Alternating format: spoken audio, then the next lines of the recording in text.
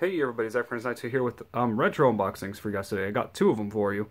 Um, I noticed the last time I did a video game retro unboxing was in August of 2018, and it's been a long time since then. I didn't know it was that long. Uh, the last actual retro unboxing was the Spider-Man DVD collection, which I made a little after August, but in terms of video game wise, this is the first one since then. But a title, the thumbnail, you know it's going to be for. It's going to be for Power Rangers Dino Thunder. Now, this game, when I played it as a kid, I used to really like it. I found this for like a few dollars at my local game store um, in okay condition. Um, I really would have liked this game better if you were not just the Megazords, which was the only thing you could play as, were the Megazords in the game, which was kind of uh, boring, to be honest. I mean, I think it was somewhat fun when I was a kid, uh, mainly, mainly because I really like to fly around, be a Megazord, uh, it, it was cool. It just really stinks that you weren't able to be the Rangers themselves. That's the one I was really looking forward to. I wanted to play as the Dino Rangers. Um, believe this game was released also on the GameCube and the original Xbox. Um, but I played this originally on a PS2, so I found one in pretty fair shape. Um, it came out in like 2004? Yeah. So 15 years this year. Um, and it's not really too much to show. Um, has a standard disc. It looks kind of cool, actually. Uh, and then also has the user's manual.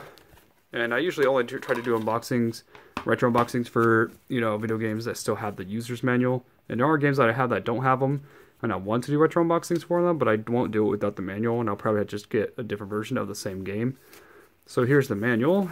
Um, instruct not instructions, um, shows advertisements for the toys back then for the extender like arm from the battle mode from the Red Ranger. Uh, let's see. When you first open it up, you see Terra. Uh, I think that plays her name. Why am I forgetting names? It's been ages since I even watched my Dino Thunder collection because I've watched the whole set when I first got it on DVD. Haven't watched it much after what afterwards. What's this? The Zord Adventure. Oh, okay, this actually shows the story. I'll let you, I'll let you pause and read. I'm going to move it slightly slow so that way you guys could pause and read without me having to read the whole thing.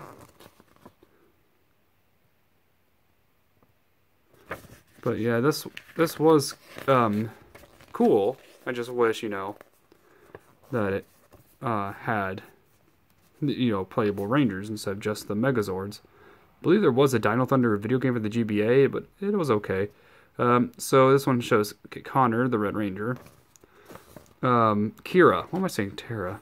Um, but Kira is her name. She's the Yellow Ranger. Uh, Ethan is the Blue Ranger, and I already know Tommy Oliver. It's uh, late 20s. Doesn't want to show his real age. That's hilarious. Dinozord Data. This is the Tyranozord the Pterazord, that's probably what I thought of, the Pterazord, the Tricerazord, the Par the Demet Dimetrozord, and a Cephalozord. This game was alright though, at replaying it. Uh, it still can be fun on times, but it's just not as memorable as I remember it being. But I was disappointed when I got it as a kid for the sake that you couldn't play as the Rangers themselves.